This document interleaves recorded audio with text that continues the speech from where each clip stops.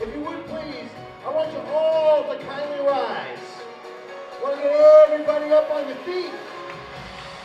You are going to standing right outside this room are some very happy and proud people. But before I bring them in, I got a question for you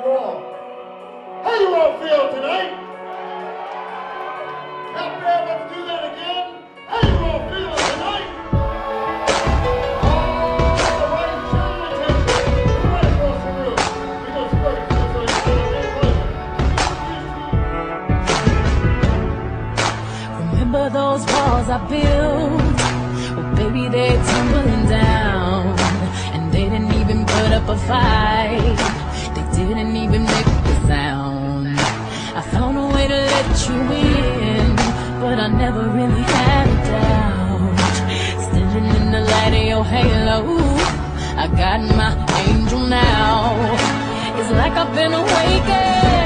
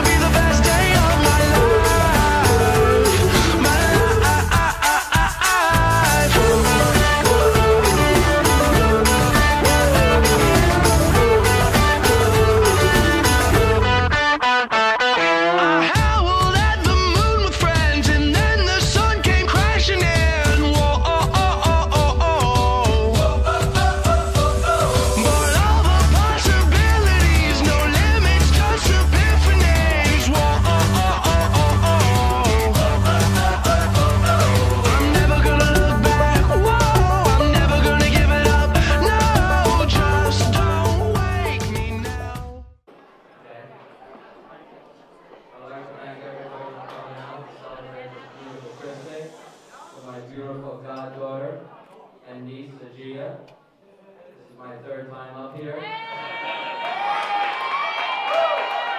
And I've been doing this since I've 18 years old, almost 30.